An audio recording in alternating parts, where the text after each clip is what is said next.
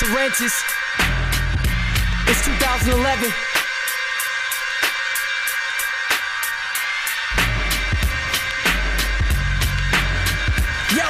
December zone in the building, established in 91.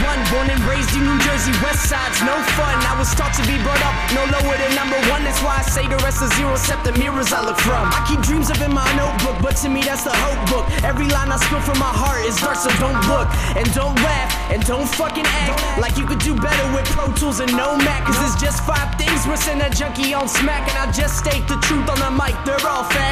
Do rap. I'm not black. I don't have a producer, but skills I don't lack. You will get smacked if you're on my train tracks. This is that new crack, like me and a devil made a pact. I can't keep looking at the sky, wondering why I even try, wondering how or when I'll die, cause this life can pass me by. But till then, I'll try and try new I fry my mind to fly. This mic is deadly like a Bentley on an Interstate 95. My mind is empty, cause this pen be making words I can't describe. It may be tempting just to vent, but I'd still rather feel the vibe. Just keep hoping one day they'll take a look. Till then, my thoughts will stay hidden in my notebook.